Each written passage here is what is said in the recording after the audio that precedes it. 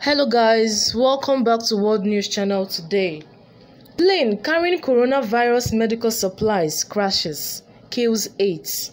But guys, before I continue, I need you to click on the red subscription button to subscribe and also don't forget to click on the notification bell icon to get latest updates on breaking and trending news.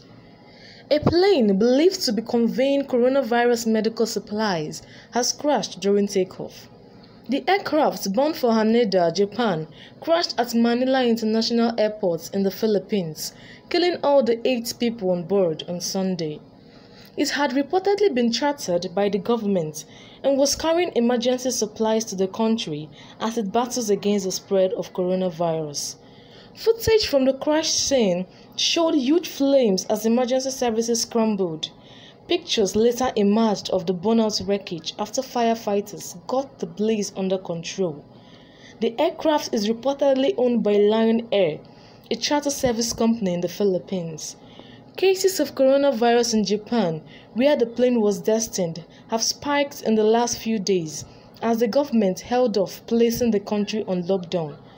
Tokyo Governor Yuriko Koike had warned that the capital was entering an important phase in preventing an explosive rise in the number of infections. He asked the 14 million people living in the city to stay at home over the weekend. Japan's Prime Minister Shinzo Abe also warned the country was getting closer to a national emergency.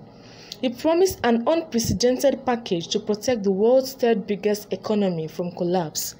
Guys, you can now like and drop your comments in the comment section.